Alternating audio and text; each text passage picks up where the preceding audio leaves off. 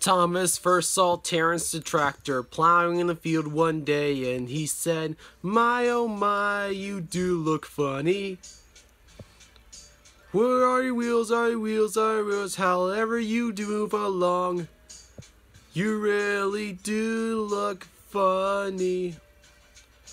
Don't be rude, said Terence the tractor. I don't have wheels like you because my caterpillar tracks are so much better. And I can go anywhere, anywhere, anywhere, but I don't need rails like you. One day I'll prove it, show you how I do it, then you'll understand that you don't judge a book by its cover to make your mind up too soon. Things aren't necessarily always what they appear to be. Don't judge a book by its cover to make your mind up too soon. Never, never, never, never, never, never, never, never, never judge a book by its cover.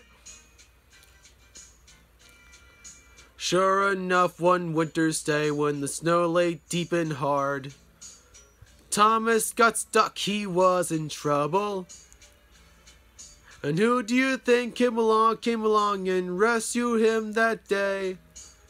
That snow didn't matter to Terence the tractor.